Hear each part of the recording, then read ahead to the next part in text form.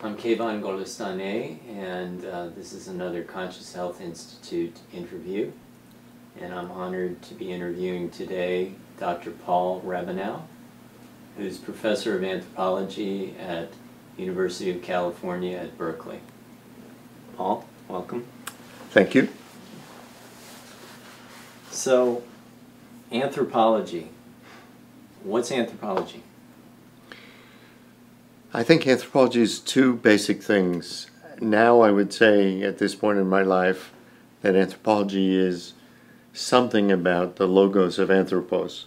That is to say, the science or the discourse or the truths or the knowledge production about anthropos. Anthropos is, uh, in Greek, is the human thing. And there have been many figures and variations in, of the understanding of what anthropos is. Um, and anthropology, in its biggest sense, is an attempt in some more, more or less rigorous fashion to understand both what anthropos is, what it could be, what it has been, etc. So that's one side of it. The other side of it is, like many other people, I became an anthropologist as a young man, first to get out of the academy, second to get out of America, and third to have ex existential experience of living with uh, other people. Um, and it produces a kind of, both a kind of knowledge that disciplines like sociology or political science often don't have, but also it changes you. And so anthropology for me is also a process of existential change, um, which gives or should give uh, a particular taste or coloration or richness to uh, to how we think and write. Now that's uh, of course an ideal, and mm-hmm. not everyone measures up, but uh, there, it's still the I think the most renegade and in, embedded and engaged discipline in in the in the university. Um, which I'm not always saying very much because the university is a pretty disastrous place, but the um, but anthropology is still broader and more open, and people have to go out and do something, mm-hmm. expose themselves to, to, to something which, which almost none of the other disciplines do. Did you grow up in? Were you exposed to other cultures? I grew up in groups? in Queens, in New York City, in a neighborhood called Sunnyside. Same here, Elmhurst. There you go. uh, Sunnyside was a garden city. And when I was growing up was a, um, a socialist communist zone. I see. Um, my parents were both social workers of mm-hmm. one sort or another, um, Jewish, but not religious.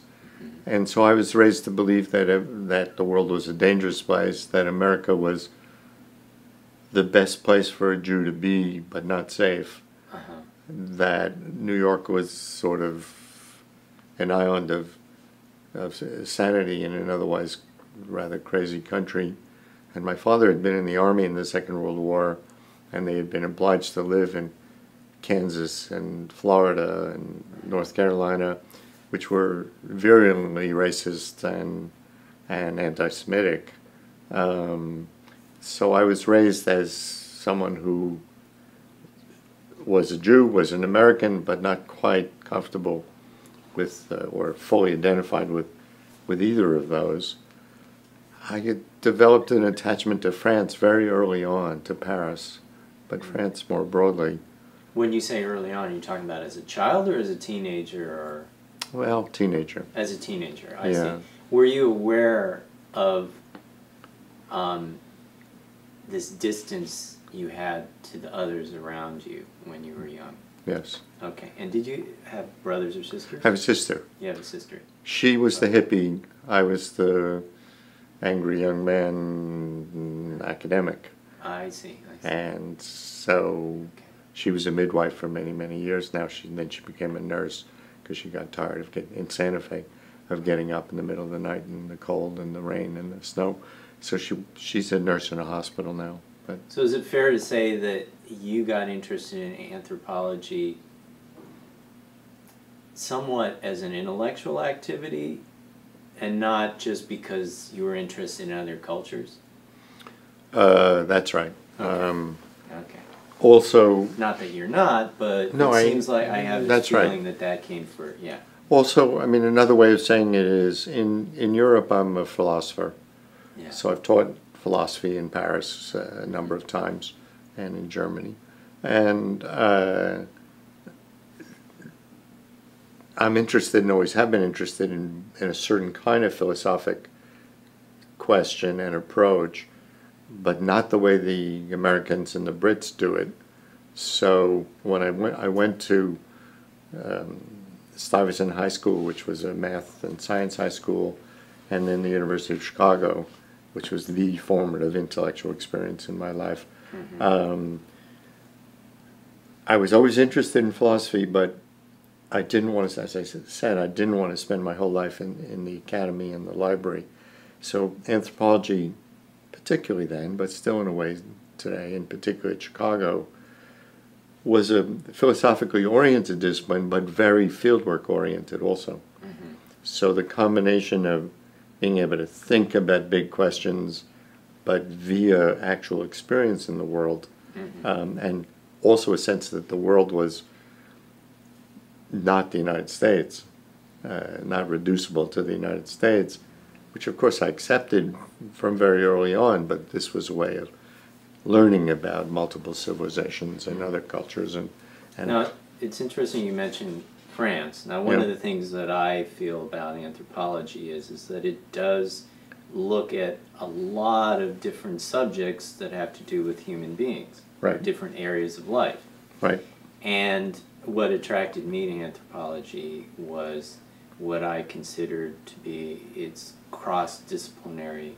Mhm. Even though it's a discipline, it gets into everything sure, the French tradition seems to be that you can, and in fact you must, talk about other subjects besides your own. Mhm. Is that, are you attracted to the French tradition, intellectual environment because of its uh, ability to cross into other subjects? Well, there's a dual answer to that, which I mean, the full answer would be would take a long time. But the, Well, the simple answer is something like French anthropology itself Uh-huh.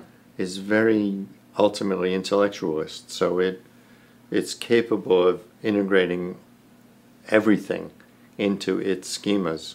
Yeah. And there's some very brilliant anthropologists in France.